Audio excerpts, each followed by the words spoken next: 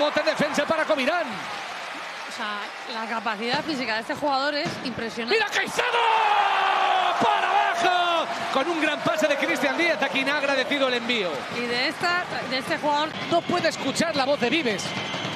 Y el balón se lo acaba regalando a Thomas Corre Renfro, la espera Caicedo. ¡Para abajo!